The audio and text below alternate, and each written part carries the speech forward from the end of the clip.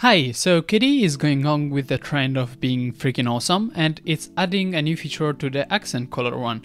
So now every time you open Dolphin and you change the accent color, all of the folders will actually adapt to the accent color you choose. So let's say that you choose yellow or purple, the folders will actually be yellow and purple instead of blue. You can select them, you can see that the rubber band to select them is the same color as the folder, so now everything, pretty much everything, actually follows your accent color.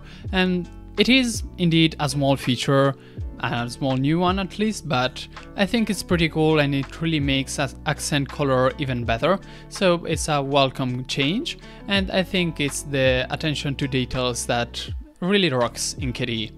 Also, there's another thing which is that all of the icons for the folders there's actually many of them you can see just the basic one but many have like icons on them we are in the process of redesigning the icons, and there's a whole time contributor Ken Vermette, which is now very active on this task in the VDG chat. And I won't spoil spoiler you the new mockups that he's working on, but you will see when as soon as uh, those lands that it's going to be pretty cool. Like we'll get a new set of icons for folders, and now they even get colored, so Dolphin, sorry, folders in Dolphin are as cool as can be right now.